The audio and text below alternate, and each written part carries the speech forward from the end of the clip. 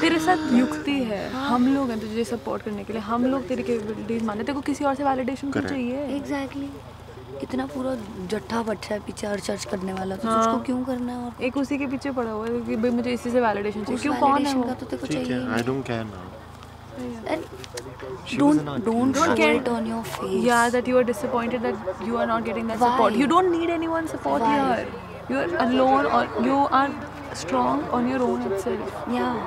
hypothetically if some game dynamic sense if i would have pitched in it certainly would have been i would never send gaurav bhai over there not because of anything he's good in pushing josh or me should have gone in the water ठीक है वो तेरी ideology थी हम उसके लिए मना थोड़ी कर रहे हैं but सही कह रहे but tell me something did you see arushi datta wasn't even pushing the wo canister हैं मैं I'm देखो ना. क्या हो रहा था उस टाइम पे जब वो कुछ नहीं कर पा तो रही थी ज़्यादा आगे जा जब वो कुछ नहीं कर पा रही थी तो ये मुझे बोल रहा था ये साइड से बोल रहा था शिट यार and then she says and then मैंने उसको चुप कराया मैंने कहा जब आप टीम में खेल रहे होते हो तो ना आप नहीं तो आप दूसरे को अपने question कर सकते हैं। की तरफ़ नहीं करते यार आप अपनी पर्सनल चीज़ें अलग रखते हो